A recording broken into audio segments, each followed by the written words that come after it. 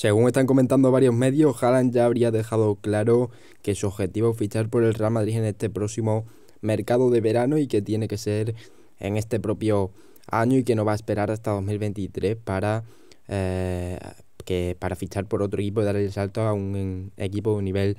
mayor. Se dice que en el Real Madrid ya están intentando hacer cuentas para intentar encajarle junto a Mbappé para que lleguen los dos en este próximo mercado de verano. Y se dice que bueno que el jugador ya habría dejado claro que su deseo es fichar por el Real Madrid y bueno habría renunciado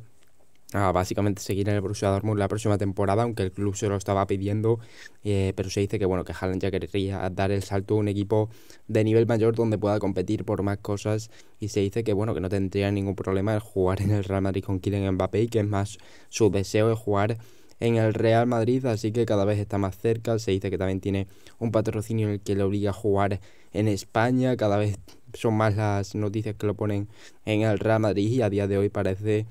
que es el equipo que más cerca estaría de ficharlo y es el deseo del jugador.